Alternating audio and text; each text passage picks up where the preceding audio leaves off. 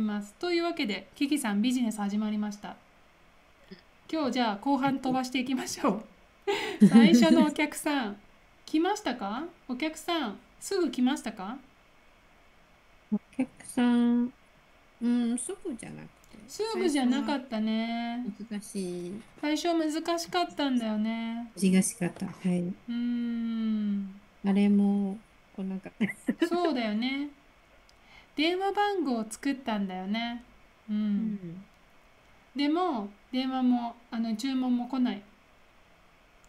それから他に何したかなうーん。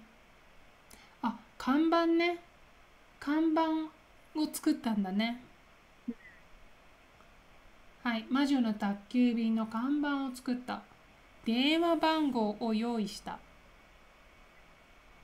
それから、うーん、机を用意してね。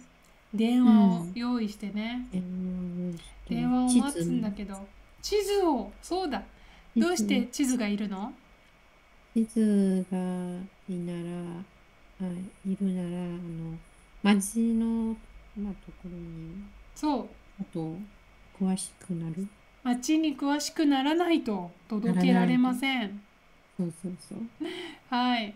ところが、開店はしたものの、1週間経ってもお客さんは一人も現れませんでした。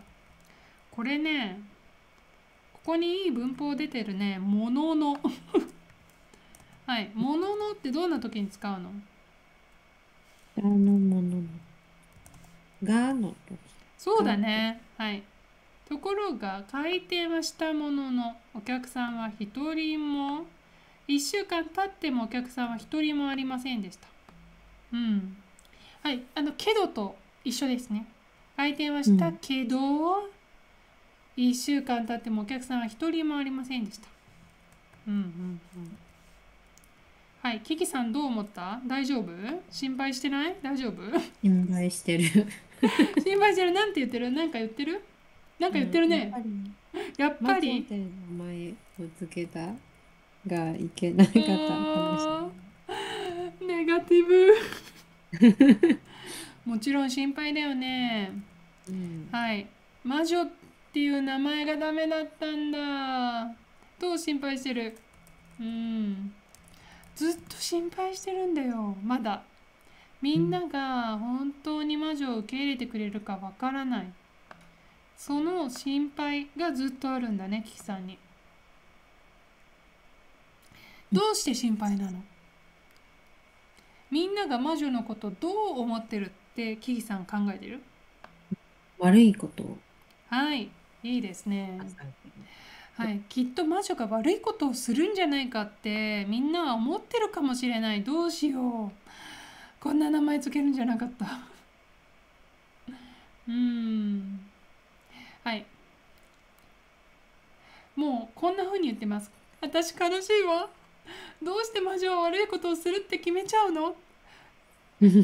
いいですか？誰が言いましたか？キキさんが言ったんです。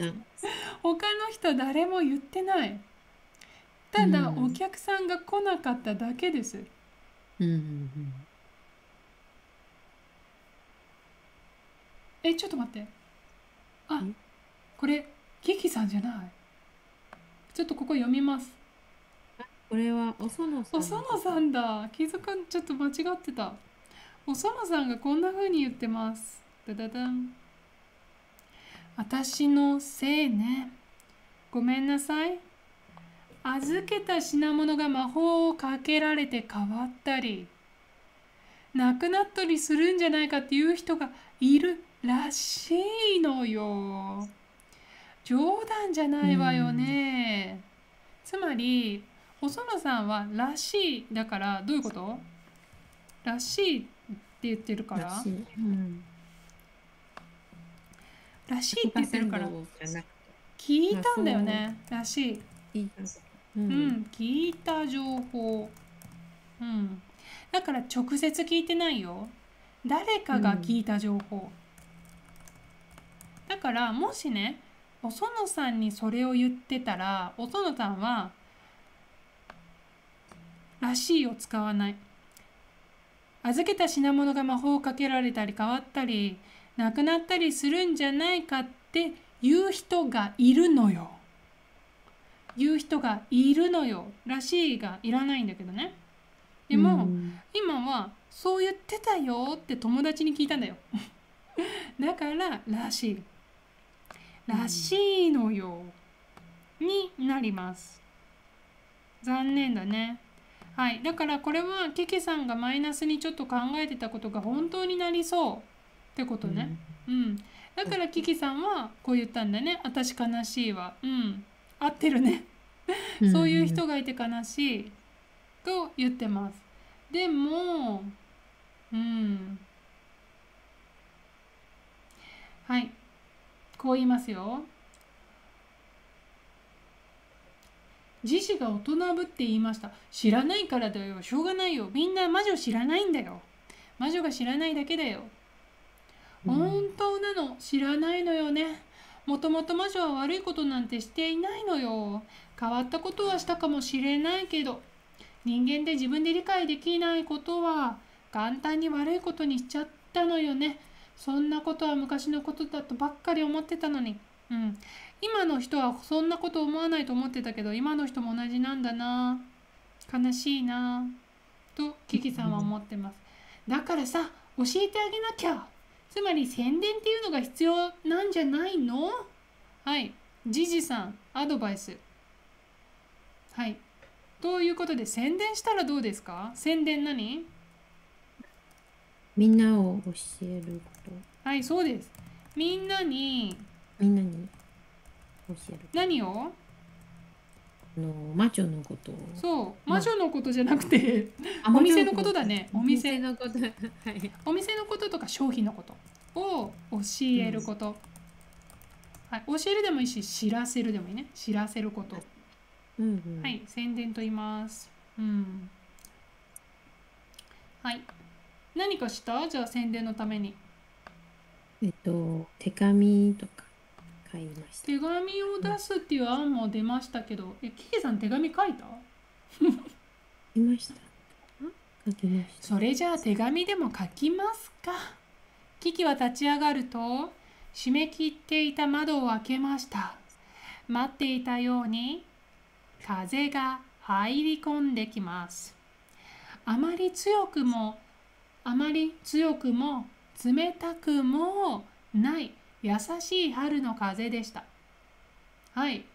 窓を開けたら、その後何かがあったよ。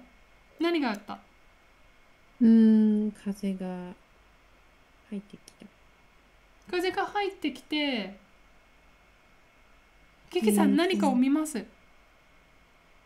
あーえっ、とん？何が見ます？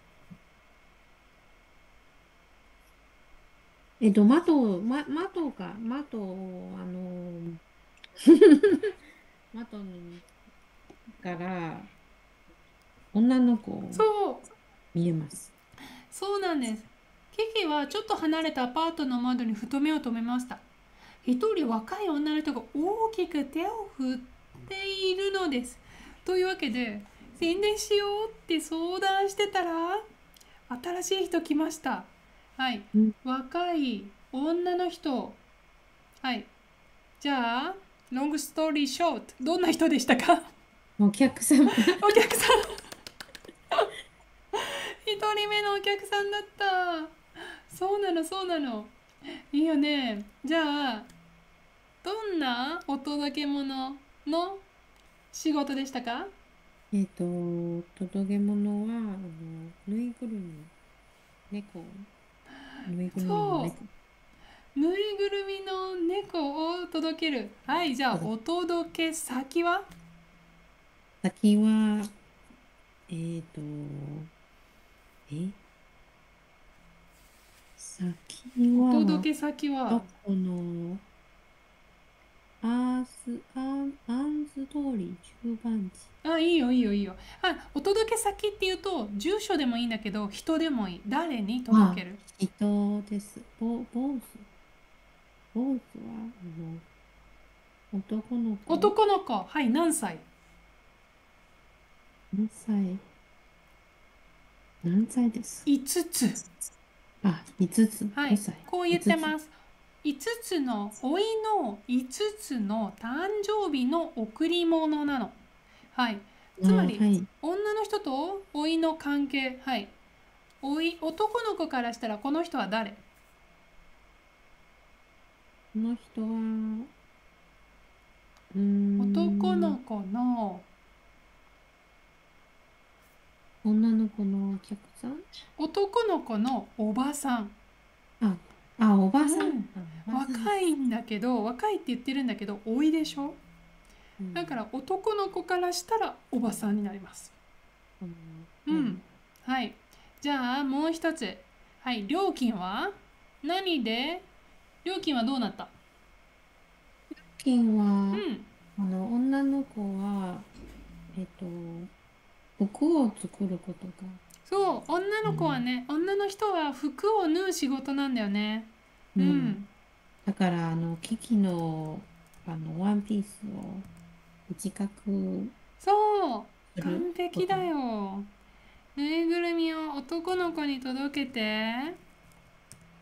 OK。じゃあこれ書こう。ぬいぐるみを男の子。女の人の老いだね。女の。おお、ちょっと調子が悪いな。女の人の老いに届けて。うん。女の人の老いに届ける。はい。報酬。報酬はスカートの裾上げ。はい。報酬はスカートの裾上げです。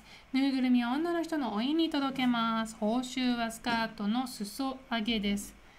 はい。というわけで、キキさん、女の人に、女の人のぬいぐるみを届けるんだけど、うん。たくさんのイベントがあったね。